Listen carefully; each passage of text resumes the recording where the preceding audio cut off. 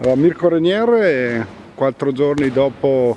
eh, il KO nel big match col Bubi Merano, questa amichevole importante col BPP Verona e anche insomma, per, eh, per, fare comunque un cambio anche di, di, partita per affrontare squadre ovviamente più forti. Ma, intanto ringrazio Verona che ci ha concesso questa opportunità, per noi è stato un bellissimo allenamento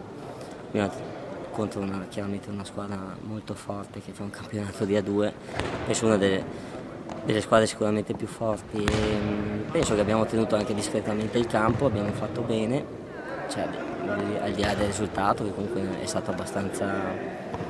benevolo diciamo, nei nostri confronti, non benevolo perché non meritato, ma voglio dire è stato contenuto perché siamo stati anche bravi, insomma siamo riusciti comunque a non straturarci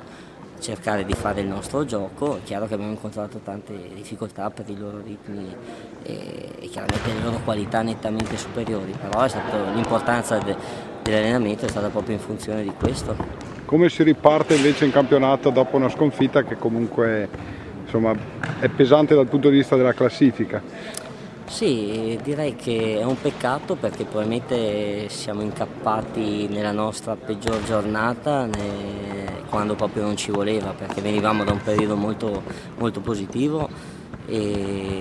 al di là dei risultati anche come prestazioni. Peccato perché abbiamo commesso delle, delle grosse ingenuità e abbiamo giustamente pagato, però credo che ci sono ancora nove partite da giocare, siamo dietro a un punto, il nostro obiettivo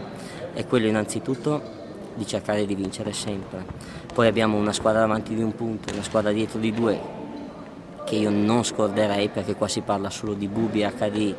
ma la Grolla secondo il mio punto di vista è, squadra, è forse la squadra più di qualità del campionato e dovrà incontrare sia noi che il Bubi, quindi devo stare molto attento anche alla Grolla, perché di solito come si dice fra i due litiganti è sempre il terzo che gode, quindi sarà un campionato bello fino alla fine e speriamo di, eh, chiaramente di poter, di poter, eh, continuare questo momento positivo al di là dell'ultima gara e magari recuperare il punto al Bubi. In ogni caso se noi procediamo in questo modo credo che a fine campionato, insomma, qualsiasi sia il risultato, credo che l'annata sia molto positiva, insomma, sia dal punto di vista della crescita un pochino dell'ambiente, parlo del nostro che in HD, sia di squadra sia di società. Quindi.